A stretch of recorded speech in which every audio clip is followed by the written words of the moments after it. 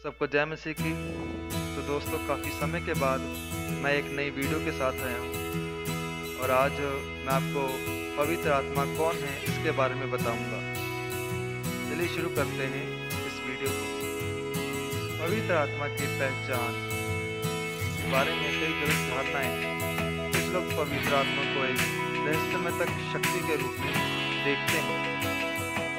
पवित्र आत्मा की पहचान के बारे में बाइबल कहती है कि पवित्र आत्मा परमेश्वर है।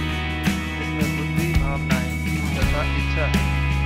रहतों के काम पाँच करती और चार हम अनन्या और पत्रस का बारे में कहानी पढ़ते हैं। पत्रस अनन्या को बताते हैं कि उसने पवित्र आत्मा के बारे में झूठ बोला है, वरन परमेश्वर वचन सहायता और आठ में हैं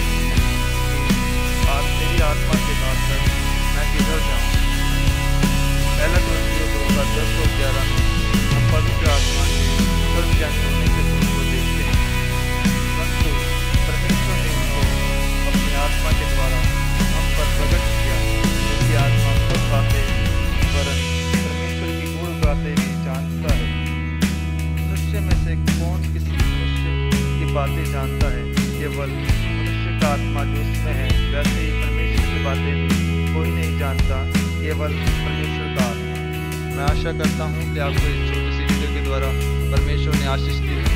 मिलते हैं इस वीडियो के दूसरे भाग में, तब तक के लिए जय मसीह